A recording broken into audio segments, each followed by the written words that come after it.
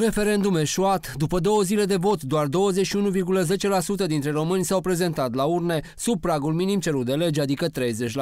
Biroul Electoral Central a comunicat astăzi și datele oficiale ale scrutinului. Astfel, 91,56% dintre românii prezenți la vot au spus da, iar 6,47% au votat nu, după centralizarea rezultatelor din toate cele 19.040 de secții organizate pentru referendum. La consultarea populară au votat în total peste 3.800.000 de români. Prezența cea mai mare s-a înregistrat cum era de așteptat în mediul rural, fruntașe fiind județele Suceava, Dâmbovița, Bihor și Olt. De altfel, singurul județ care a trecut de pragul de 30% a fost Suceava, unde s-au prezentat la urne 30,67% dintre alegători. Cea mai scăzută prezență la vot a fost înregistrată în județele Covasna 8,5% și Harghita 11,12%.